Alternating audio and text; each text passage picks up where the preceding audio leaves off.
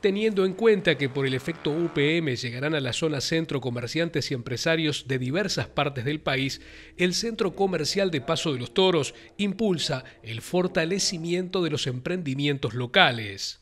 Es, algo muy atractivo el, movimiento y la inversión que va, a haber aquí en la zona. Van a venir capitales a, a aprovechar la oportunidad.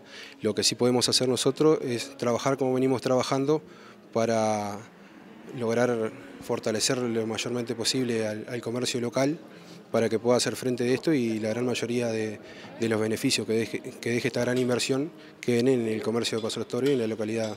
Por este motivo, se convocó a la Cámara de Comercio y Servicios del Uruguay, cuyo gerente aportó la experiencia obtenida durante la construcción de Montes del Plata yo siempre lo divido en tres, en tres partes. Al principio es esta parte que es la que más que nada hay que prepararse para lo que viene. Después viene el tsunami, que son dos, años y medio de obra en el cual van a ver acá, no sé, 4 o 5 mil personas externas a la, zona, viviendo acá, consumiendo acá, eh, todos al mismo horario, todos al mismo tiempo, es como una, revolución grande a la, cual hay que estar prevenido desde todo punto de vista, desde el punto de vista social, desde el punto de vista sanitario, hay que estar bien prevenidos.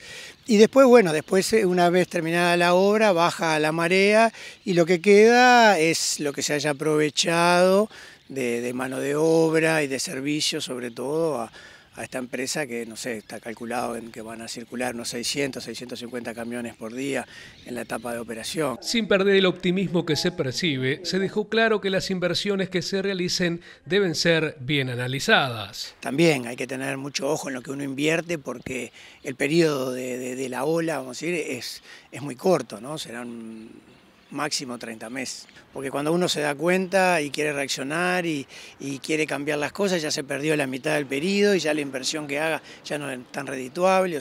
El próximo miércoles 28 de agosto el centro comercial recibirá a INEFOP.